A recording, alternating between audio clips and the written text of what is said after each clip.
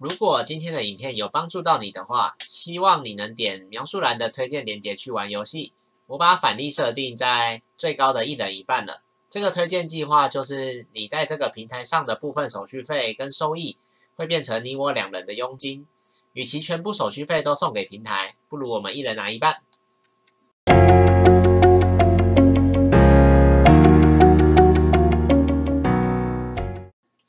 大家好，我是若隐。大家期待已久的《鱿鱼游戏世界》终于上线了，所以我也来赶快抢先带大家看这游戏究竟该如何玩。首先，我们来看看白皮书，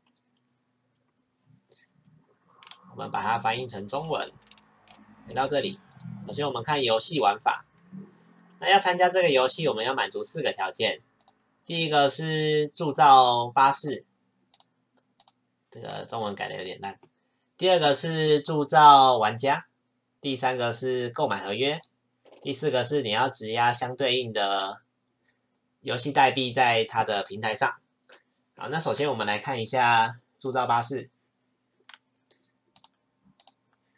铸造巴士的话，它有五个级别，那你几等就可以载几个玩家。那要注意，一开始每个账户只能铸造两个巴士，那每七天可以额外铸造其他的巴士。那每个钱包最多只能有五个巴士，如果你拥有太多的话，它就会不让你玩。那每一个铸造巴士的价格为三十美元的 BSW 代币。再来，我们看看铸造玩家这边，铸造玩家一样也是三十美元的 BSW 币。那这是他们的等级跟掉落率。那每个等级的鱿鱼能量就分布在这里。那这边有一个最大。能量提升，这 S 一就是鱿鱼能量的意思。那每个角色基本上都可以提升它的鱿鱼能量。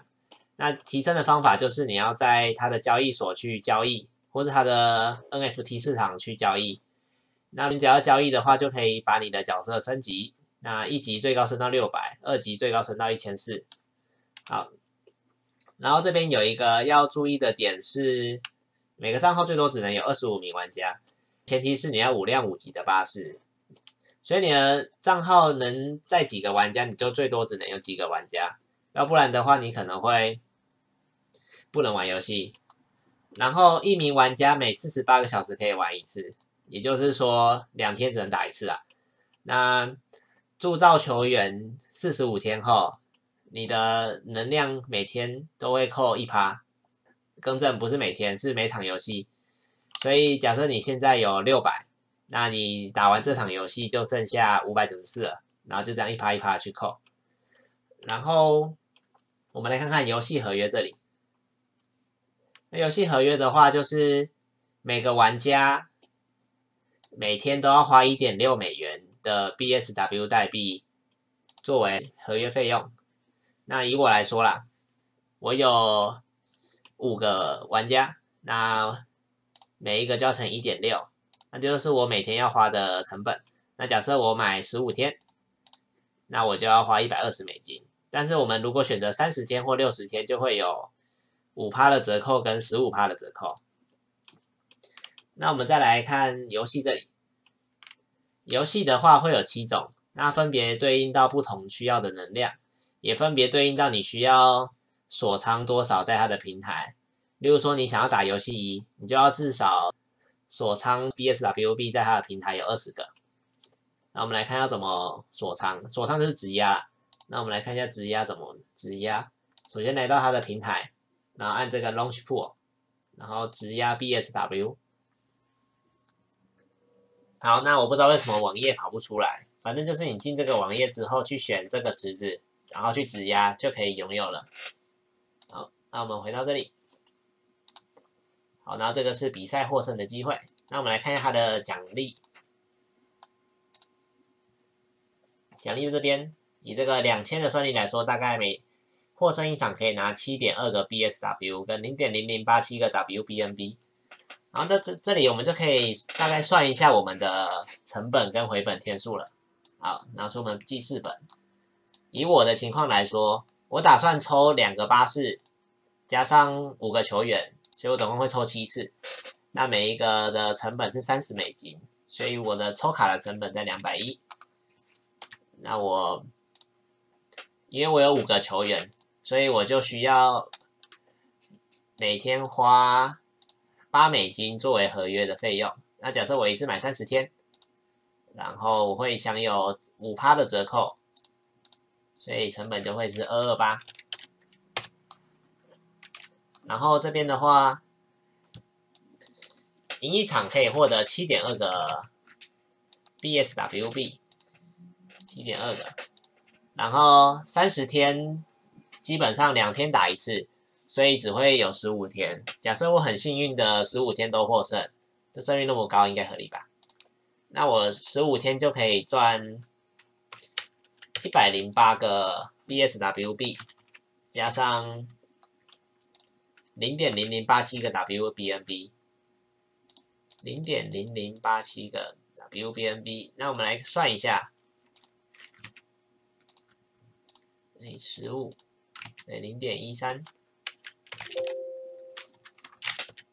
一三零五。WBNB，那我们就来算一下哦。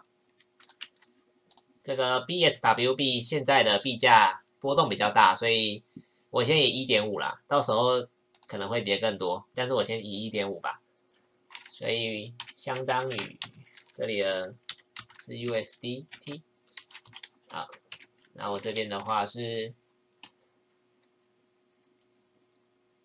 一百零八个 BSW。乘以一点五，也就是说一百六十二美金，加上零点一三零五乘以那个 WBNB 的价格，乘以五百三十五，好，等于有大概七十美金，两七十等于两百三十二，好。那所以说三十天差不多就可以回本了。以现在的币价来看呢，到时候币价多少又不知道了，所以这个只能作为参考。毕竟它现在波动相对比较高很多。那一个月对一个 GameFi 来说其实相对比较长。不过这个 BSWB 跟 BNBB 它都是属于平台币，所以它很难去跌到真的没有价值。即使回本天数比较长。但是至少游戏可以存活比较久。那尤其游戏存活比较久的情况下，我们玩的越久就越赚。所以这游戏我还是愿意稍微小本投入玩玩看的。不过你们在自己投入之前，一定要看一下自己的风险，因为这种 GameFi 的风险都比较大。好，那我们再来看一下这里，再看下白皮书，这里有一个提款的部分。就是我我们来看它的锁仓时间。当你获得奖励的第一天，如果你就提取奖励的话，会扣二十七趴的费用，但每隔一天就会扣一点五趴，也就是说十八天之后，你就可以免费领取你的收入了。好，那由于游戏的介绍大概就到这边啊，不对，这边还要补充一下，我们会发现我们想要铸造我们的玩家的时候会铸造不了，这是因为。官方每两个小时只会开放两千个给大家去铸造，如果抽完了的话，就要去等下一个两小时啦。那你看，像我这边，我最多可以拿五个，就是因为我现在已经有一个三星跟两星的巴士了。那如果你这个人员超过你巴士可以载的数量，就不能玩了，你要把它拿去市场上卖，或是转到其他钱包。好，那今天的影片就到这边。如果这个影片有帮助到你的话，再帮我按赞。分享、订阅、开启小铃铛，我会及时分享我在币圈的消息给大家。